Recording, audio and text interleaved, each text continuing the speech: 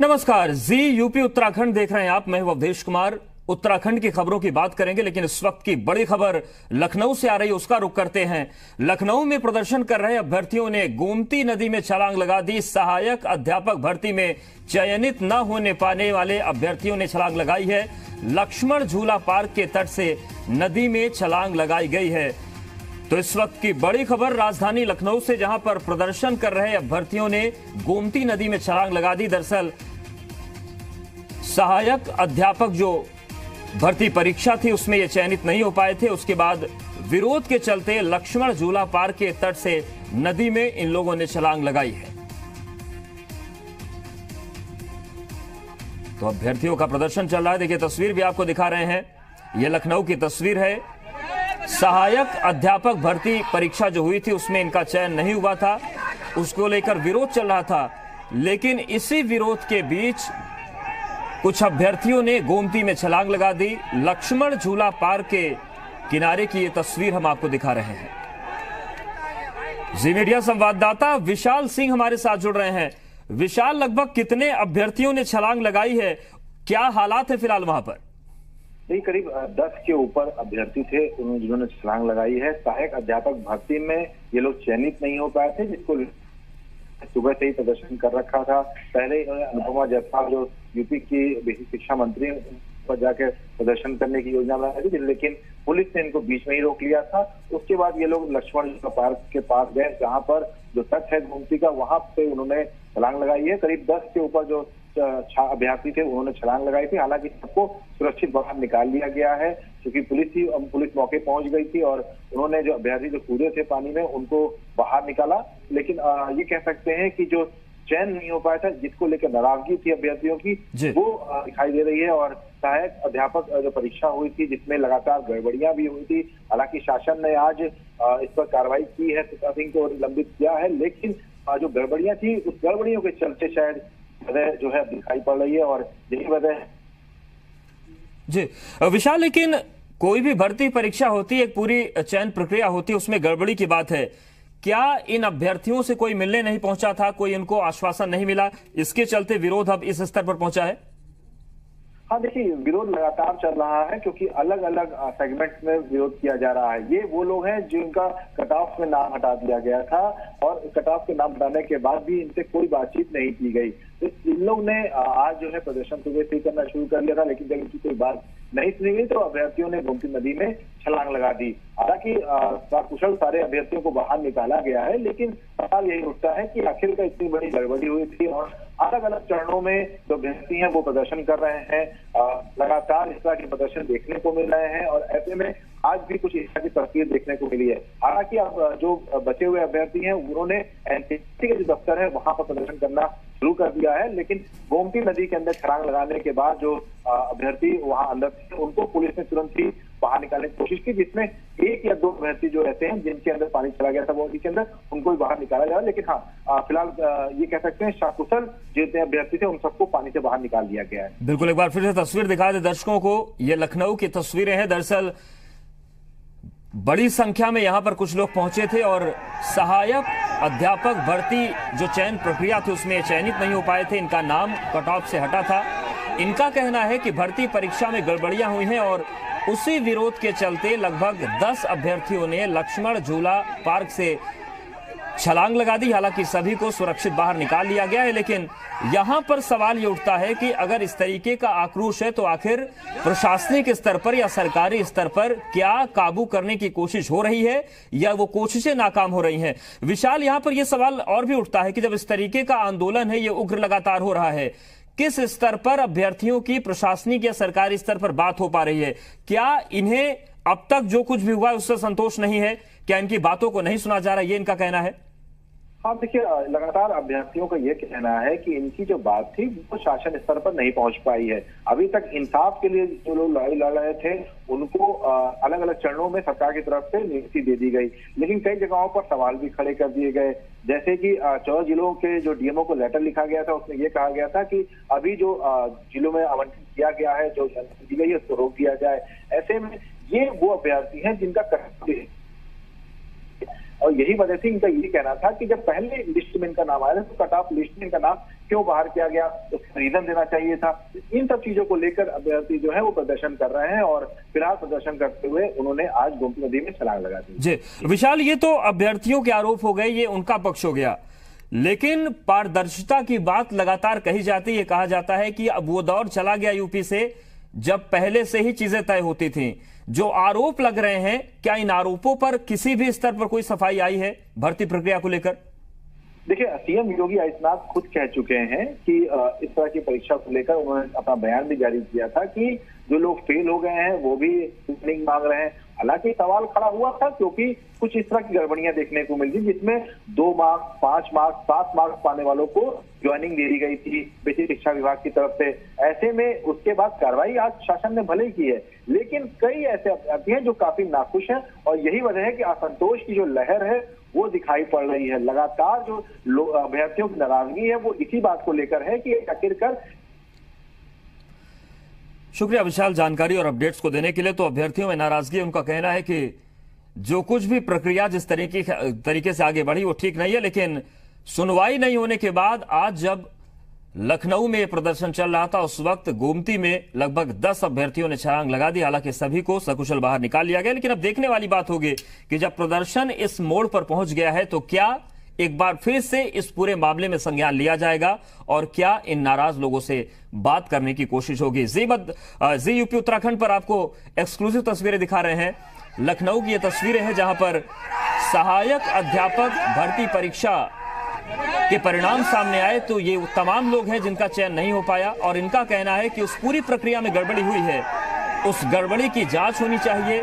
ये लोग चयनित होने की पात्रता रखते हैं, उन चीज़ों को देखना चाहिए। हालाँकि इन लोगों का ये भी आरोप है कि इन्हें माकूल जवाब नहीं मिल रहा है। ये जो बात करना चाह रहे हैं, वो बात नहीं हो पा रही है। और इसीलिए प्रदर्शन अब इस स्तर पर पहुँच गया है कि कुछ लोगों ने आज गोमती में छलांग लगा दी। हालाँकि सभी को सुरक्षित बाहर निकाल लिया गया।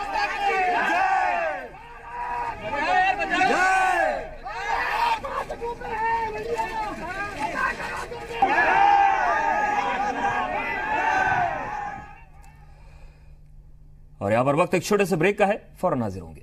ब्रेक के बाद आपका स्वागत है और चलिए बात उत्तराखंड की करते हैं। उत्तराखंड की सड़कें बारिश के बाद पूरी तरह से गड्ढा मुक्त कर दी जाएँगी। सरकार ने इस ओर अपने कदम बढ़ा दिए हैं।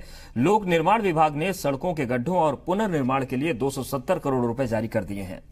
बरसात के इस मौसम में अभी कच्ची पैकिंग करके किसी भी तरह से स्थिति को संभाला जा रहा है, लेकिन बारिश के बाद सभी सड़कों की स्थिति को सुधारा जाएगा।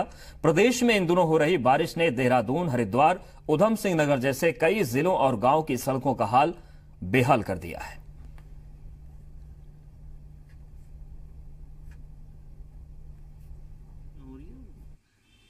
इस प्रकार हो रही है कि सड़कों को तो बहुत नुकसान पहुँच रहा है। कम खासकर उसकी जो राइडिंग सरफेस है, वो खराब हो रही है। और चलिए आगे बढ़ते हैं और अब बात करते हैं पेट्रोल, डीजल के बढ़ते दामों की और दूसरे मुद्दों की। इसके खिलाफ पीसीसी चीफ प्रीतम सिंह ने बीजेपी सरकार पर जमकर हमला बोला। अपने कुमाऊ के पाँच दिवसीय दौरे को बीच में ही छोड़कर देहरादून पहुँचे प्रीतम सिंह ने बताया कि कांग्रेस अध्यक्ष राहुल गांधी के नेतृत्व में 10 सितंबर को देश के साथ ही प्रदेश में बंद को सफल बनाने की कोशिश होगी। इस मौके पर पीसीसी चीफ ने निकाय चुनाव को लेकर प्रदेश सरकार पर भी जमकर हमला बोला और कहा कि हम निकाय चुनाव को लेकर तैयार हैं, लेकिन सरकार की तैयारियाँ अभी भी अधूरी हैं।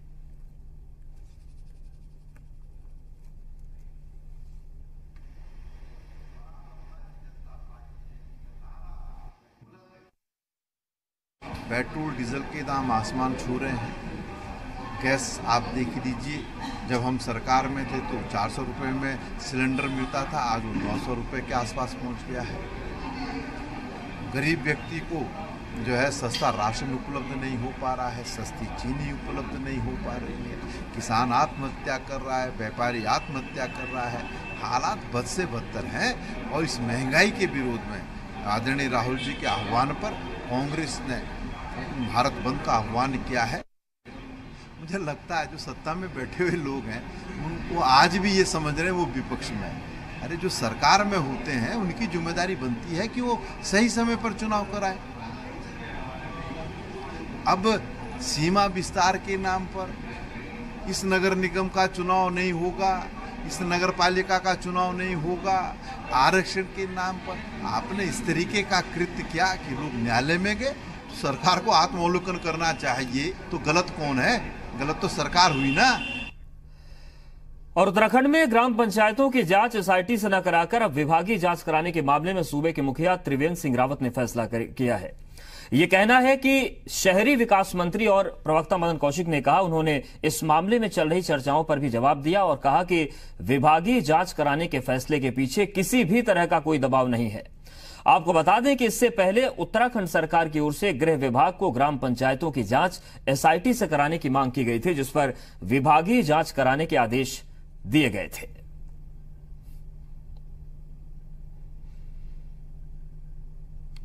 वो जाँच गई तो गृह विभाग ने जो एक प्रपोजल भेजा है उस प्रपोजल में उन्होंने कहा कि इतनी बड़ी एसआईटी जाँच संभव नहीं है।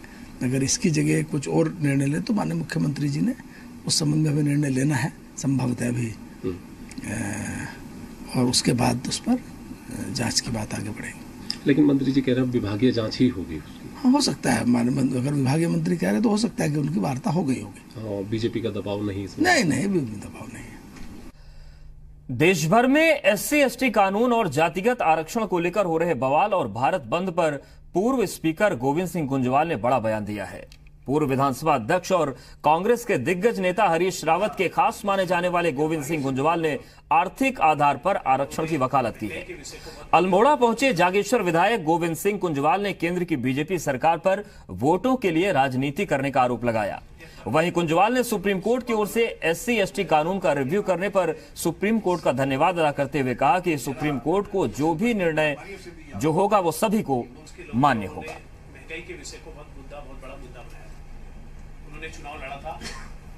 मैं इतना ही कहना चाहूँगा कि S T S T S C act जो है, वो पूर्व से ही चल रहा था और कभी देश के अंदर अशांति नहीं हुई और कभी ऐसा माहौल नहीं हुआ और वर्तमान समय में भारतीय जनता पार्टी ने किन कारणों से इस तरह का माहौल बनाया, इसको मैं समझ नहीं पाया हूँ। लेकिन फिर भी मैं न्यायालय को धन्यवाद देता हूँ माननीय न्यायालय को कि उन्होंने पूरे देश की स्थिति को समझते हुए इस पर फिर रिव्यू करने का प्रयास किया है। और उत्तराखंड के नैनीताल ज़िले में कुपोषण के आंकड़ों के सामने आने के बाद हर ओर खलबली मची है, जिसके बाद अब अति कुपोषित बच्चों को गोद लेने की ज़िम्मेदारी प्रशासनिक अधिकारियों को दी गई है। एक कार्यक्रम के दौरान प्रशासन की ओर से सभी अति कुपोषित और कुपोषित बच्चों को पौष्टिक आहार किट वितरित किए गए। साथ ही बच्चों की माताओं को घर में लगाने के लिए फलदार पौधे दिए गए। अधिकारियों के मुताबिक इस अभियान की मॉनिटरिंग के लिए मुख्य विकास अधिकारी की तरफ़ से एक सूचना का फॉर्मेट जारी किया गया है, जिसमें कुपोषित बच्चों को गोद लेने वाले अधिकारी हर महीने उनकी प्रोग्रेस रिपोर्ट देंगे। आपको बता दें कि नैनीताल में अति कुपोषित बच्चों की संख्या बानवे तक पहुँच गई है, जबकि कुपोषित बच्चों की संख्या एक हज़ार आठ, एक हज़ार आठ सौ सात सतहत्तर पहुँची है। और ये जो आंकड़े सामने आए हैं, उसके बाद कई तरह के सवाल भी खड़े हो रहे हैं कि जो तमाम योजनाएँ हैं कि क्या वो ज़मीन स्तर पर नहीं पहुँच पा रही हैं ठीक से।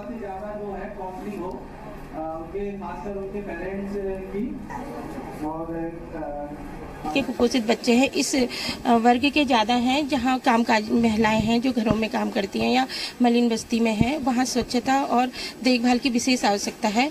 एक एक अधिकारी को टैग किया गया है ताकि वो अपने ज्ञान का अनुभव भी उनको दें तथा उनको स्वच्छता और पोषण के संबंध में काउंसलिंग करें।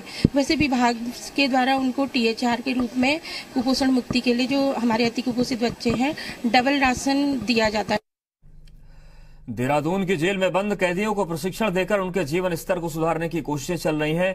अपर मुख्य सचिव राधा रतूड़ी का कहना है कि महिलाओं को सिलाई, कढ़ाई और फ़ैशन डिज़ाइनिंग की ट्रेनिंग दी जा रही है। इसके साथ ही साथ उन्हें मुख्य धारा से जोड़ने के लिए बेकरी ट्रेनिंग देने का भी प्लान तैयार हो रहा है ताकि जेल से छूटने के बाद वो अपना जीवन खुद संवार सकें। अपर मुख्य सचिव राधा रतूड़ी से बात की, जी मीडिया संवाददाता ने। जेल में बंद महिलाएँ ऐसी जिनको प्रशिक्षण दिया जा रहा है और वो प्रशिक्षण पा करके भी अपने जीवन में काफ़ी कुछ सुधार सकती हैं। हमारे साथ में अपर मुख्य सचिव राधा रतूड़ी जी हैं। मैम, किस तरह का प्रशिक्षण जेलों में दिया जा रहा है? जेल में निस्बत संस्था, जो भारत सरकार की संस्था है, उनके माध्यम से महिलाओं को प्रशिक्षण दिया जा रहा है और महिलाओं में काफ़ी उत्साह है और जो उन्होंने प्रोडक्ट्स बनाए हैं, मैं चाहूँगी कि वो भी आप अपने चैनल पे दिखाएँ। और बहुत अच्छी फ़ाइल कवर्स और बैग्स उन्होंने बनाए हैं। आज यहाँ पे लेके भी आए थे हम लोग उनके कुछ प्रोडक्ट और उनको अब बाहर मार्केट में बेच के सभी महिलाओं का खाता खुलवा के उसमें पैसा डलवा दिया जाएगा। उद्देश्य यह है कि जब जेल से महिला बाहर निकलेगी तो उसको कुछ रोज़गार का साधन मिल जाएगा।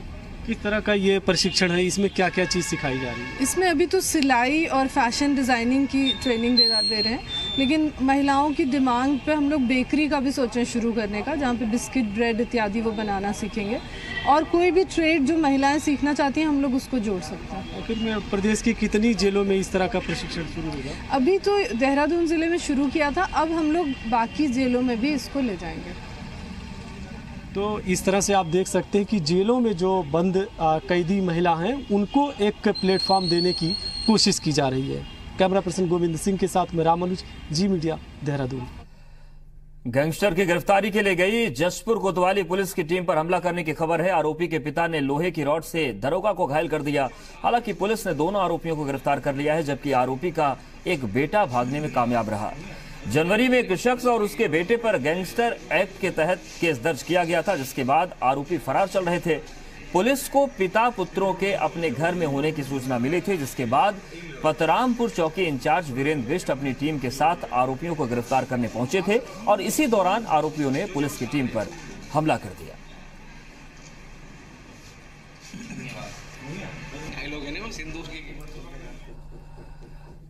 उत्तराखंड एसडीआरएफ के जवान अब केमिकल हादसे के दौरान भी बचाव और राहत का काम कर पाएँगे।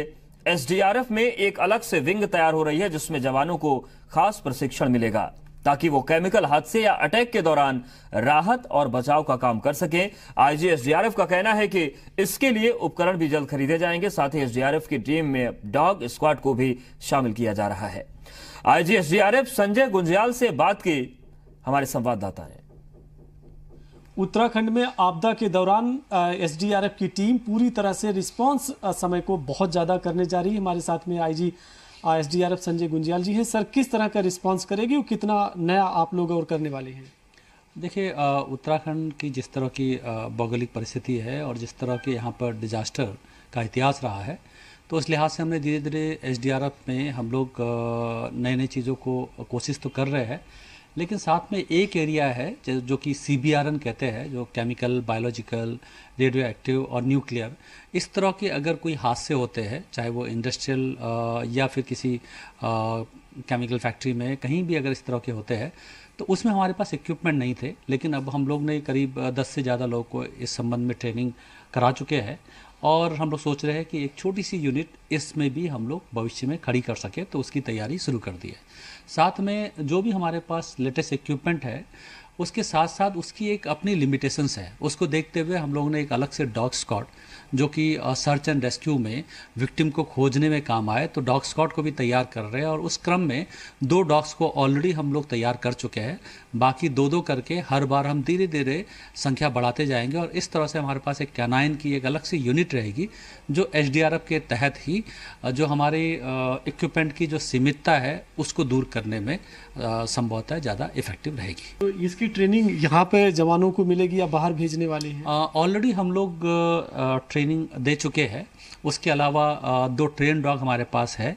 उसके अलावा अभी कुछ डॉग्स और लिए जाएँगे तो उसके लिए अलग से 10 हमारे एस के जवानों को हम लोग सेलेक्ट कर चुके जो कि भविष्य में एडवांस ट्रेनिंग प्राप्त करेंगे और इस यूनिट को प्रभावी रूप से एस में लाने का काम करेंगे।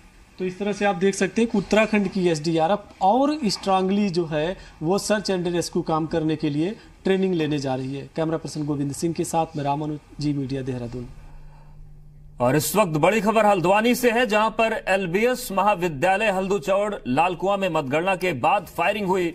फायरिंग करने वाले दो युवकों को पुलिस ने गिरफ़्तार कर लिया है। पुलिस ने युवकों से दो बंदूक भी बरामद की गई है। पकड़े गए युवकों से पुलिस अब इस पूरे मामले में पूछताछ कर रही है। लालकुआं कोतवाली के हल्दूचौड़ चौकी क्षेत्र की यह घटना बताई जा रही है। तो इस वक्त बड़ी खबर हल्द्वानी से है, जहाँ पर एलबीएस महाविद्यालय हल्दूचौड़ लालकुआं के मतगणना के बाद फायरिंग हुई। फायरिंग करने वाले दो युवकों को पुलिस ने पकड़ लिया है, उनसे पूछताछ चल रही है। बंदूकें भी बरामद कर ली गई हैं। जी मीडिया संवाददाता विनोद कांडपाल हमारे साथ जुड़ रहे हैं। विनोद, जिस तरीके से फायरिंग हुई, इससे किसी को कोई नुकसान तो नहीं पहुँचा? देखिए, ये अभी जो जानकारी है उसके मुताबिक नुकसान किसी को नहीं पहुँचा है इस फायरिंग से।